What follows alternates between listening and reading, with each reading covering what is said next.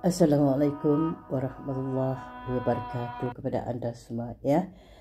Ya, kali ini aku ingin bercerita dan kongsi cerita tentang seorang teman ya yang uh, sudah lama menunggukan pekerjaan ya. Dia sudah banyak tempat yang dia pergi untuk mendapat pekerjaan tapi sukar untuk mendapat. Mereka mengatakan tunggu nanti mereka panggil tapi tidak tidak juga dipanggil.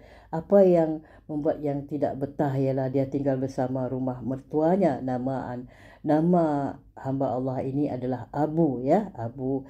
Jadi dia tidak betah tinggal dengan uh, mertua. Rasa canggung lah ya kalau makan minum makan minum uh, setiap hari ya. Jadi setiap hari dia keluar rumah, keluar rumah ya untuk mencari kerja dia berusaha uh, kata orang sepenuh tenaganya ya Ya, dia terfikir pula ya, terfikir tentang uh, selawat Nariah yang pernah diceritakan oleh kakeknya dulu ya.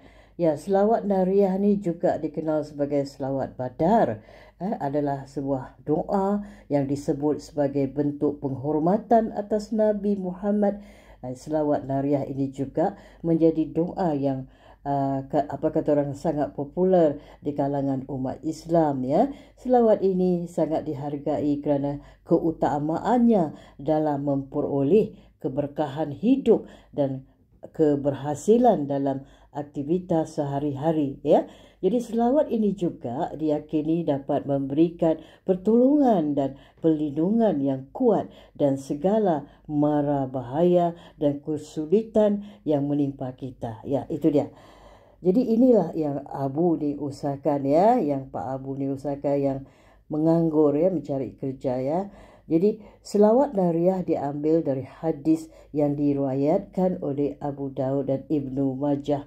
Dalam hadis tersebut Nabi Muhammad berkata, siapapun yang ingin melakukan sebuah amalan yang baik, sebaik-baiknya dia memulakanlah dengan berselawat pada diriku. Selawat ini dipopularkan di kalangan, di kalangan umat Islam khususnya di negara-negara Asia ya seperti Indonesia, Malaysia, Singapura juga Brunei ya.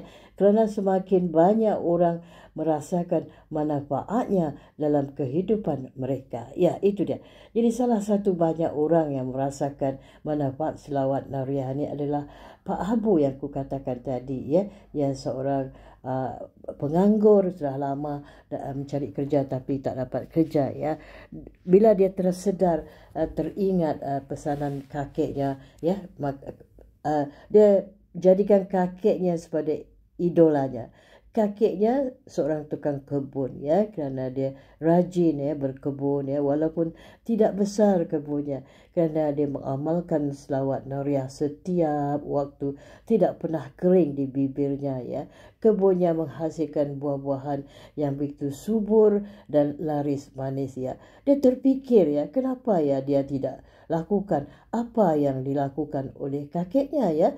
Tapi dia tidak minat berkebun ya jadi mulai hari itu dia terus mengamalkan selawat nariah setiap waktu dia membaca 41 kali. Walau macam mana pun dia keluar waktu pagi dia tidak mau tinggal di rumah. Dia malu pada mertuanya ya.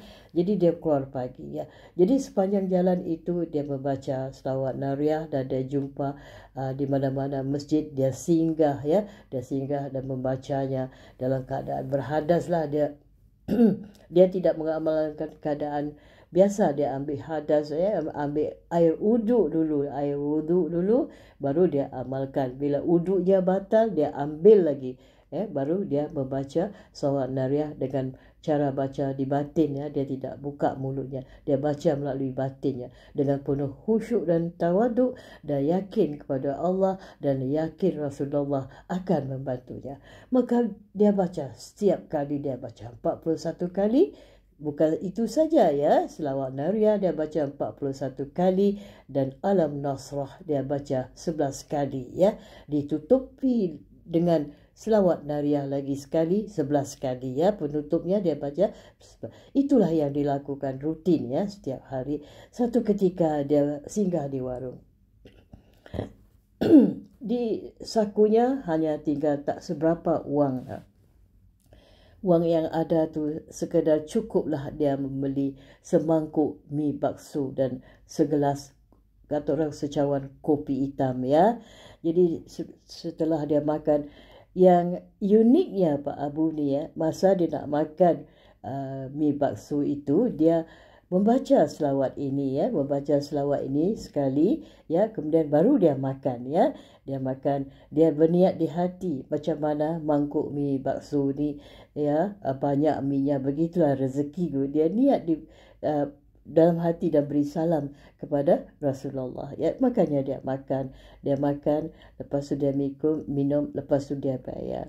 Tiba-tiba tuan yang punya kedai ni bertanya dia kata uh, uh, wak dia kata wak uh, boleh tak bantu saya? Dia pun tanya bantu apa ya pak?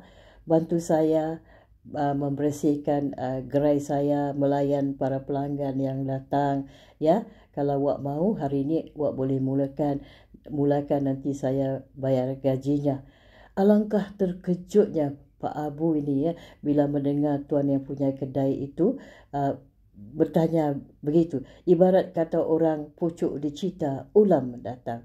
Subhanallah, Masya Allah, ya berkat selawat. Makanya dengan sukacita dia menerima tawaran itu. Menurut katanya hari ini juga dia boleh bekerja, kata dia. Jadi tuan kedai itu bahagia dan tersenyum.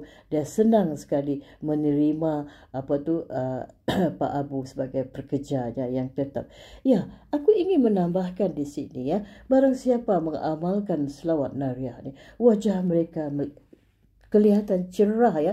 Cerah cerah dan berseri-seri bak bulan purnama ya. Selawat ini memang sekali mujarab ya. Kalau diamalkan selalu dengan penuh keyakinan anda tidak akan kekeringan rezeki ya. Ya diharap uh, kisah ini menjadi manfaat mendatangkan manfaat pada anda semua ya. Sila amalkanlah selawat nariah setiap hari ya. Ajarlah anak-anak cucu anda ya. Selawat nariah ini sebagaimana Pak Abu amalkan yang pernah di apa kata orang dipesan oleh kakeknya dulu ya. Ketika ia sudah susah barulah dia teringat pada kakeknya ya. Ya selamat mencuba dan terima kasih atas waktu anda ya